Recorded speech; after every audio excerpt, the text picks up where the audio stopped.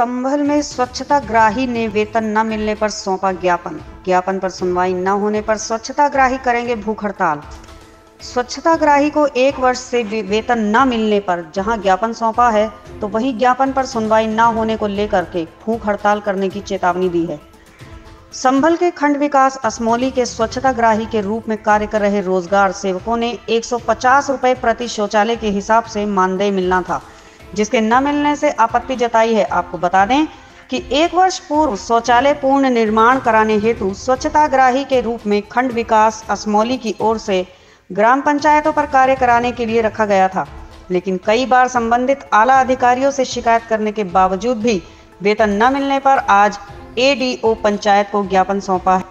जिसमें बताया गया है कि समय से वेतन न मिलने पर सभी स्वच्छता ग्राही भूख हड़ताल पर बैठ प्रदर्शन करेंगे, जिसका जिम्मेदार स्वयं विकास खंड के आला अधिकारी होंगे। ये हमने एस बी एम में शौचालय बनवाने के लिए हमें स्वच्छता ग्राही नियुक्त किया गया था विकास खंड असमोली में।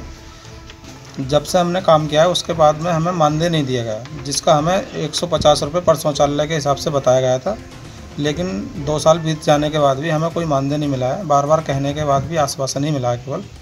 मानदेय अभी तक नहीं मिला। जिसके लिए आज हमने एडी पंचायत साहब को ज्ञापन दिया है, जिसमें हम सोमवार से भूख हड़ताल पर और धरना के लिए बाध्य हैं। मैं एडी पंचायत मोहम्मद हारून विकासखंड असमोली आज रोज़गार से जो एसबीएम के अंतर्गत स्वच्छ गिराई के रूप में कार्य कर रहे थे, मैं, मेरी पोस्टिंग अभी एक महीना पहले हुई है, इसलिए इनके द्वारा बताया गया कि जो स्वच्छ गिराई का मानदेय था, वो इनको अभी तक नहीं दिया है। इस संबंध में इन्होंने अपना ज्ञापन दिया है।